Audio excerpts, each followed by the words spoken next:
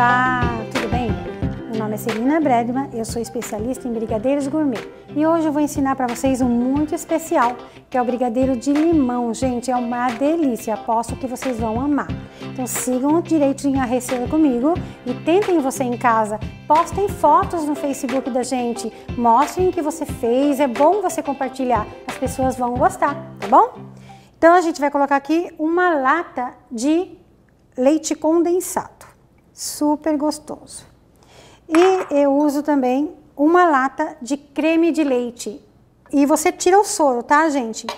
Às vezes eu esqueço de falar, mas não deixa com soro. Por quê? Porque o soro, além dele deixar o teu brigadeiro aguado, ele também ele vai deixar, vai demorar muito para dar o ponto.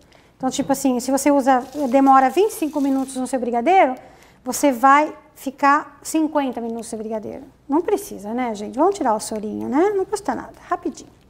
Aí você mexe, mexe, mexe, mexe, mexe, mexe, mexe, mexe, até ele dissolver. E depois você vai colocar dois limão. O limão, gente, normalmente eu coloco fora Uh, quando tiver no fogo já, que já dei o ponto quase, aí eu desligo e coloco o limão, para ele não ficar igual o meu brigadeiro, tá? Então, ficam de olho aí que vocês vão seguir certinho a sequência. E então, agora, tá vendo? Tá tudo misturado aqui. A manteiga, o leite condensado, o creme de leite e o, a casquinha de limão, tá? E agora a gente vai pro fogo. Acompanha a gente aqui aqui. Isso, a Eglin vai ajudar, vai mexer bastante ali.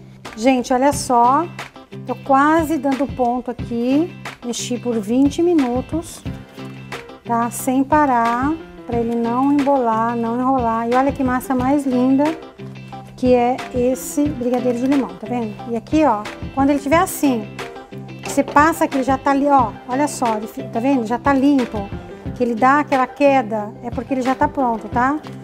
E como ele vai, uh, como ele vai, uh, agora a gente vai tirar, vai desligar o fogo.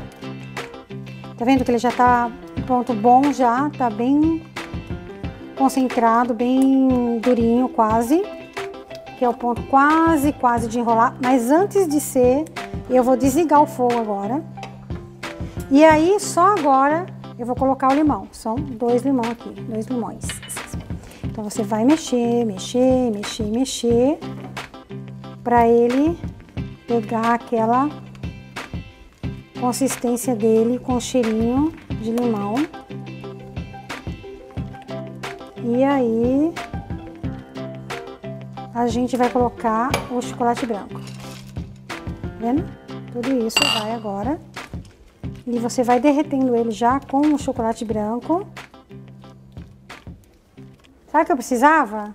Daquela raspinha de limão.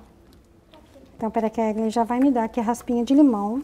Pois, ó, dois limão aqui, só a casquinha. Pra ele, quando você enrolar, olha só, que delícia, gente. Aí, você, eu não volto mais ele pro fogo, tá? Porque aqui já tá bom. Por quê? Porque como eu coloquei o chocolate, ele já dá uma endurecida. Então, quando você colocar ele na geladeira, vai ficar no ponto certinho para você enrolar. Não precisa mais botar para o fogo, ó. Olha só que massa mais maravilhosa, tá? Aí você vai colocar ele aqui e você vai deixar esfriar, esfriar até uns 5, 6 horas, tá? E aí você já vai poder ver, olha só que massa mais maravilhosa. Incrível, né? E fica, gente, uma delícia. E aí você vai pegar uma quantidade mais ou menos que você gosta do tamanho do seu brigadeiro. Eu coloco sempre uma colherzinha, essa colherzinha que eu gosto de trabalhar com ela. E já está pronto o meu brigadeirinho. Eu vou passar ali no limão, para ele ficar bem verdinho, bem com cara de brigadeiro de limão. E olha só que lindo que ele fica. Gente, é demais. E o cheirinho, eu não sei se vocês gostam de limão, gente, mas eu amo limão. Olha só que brigadeiro delicioso. E um cheiro, um aroma que deixa muito bom. Então, tchau, até mais.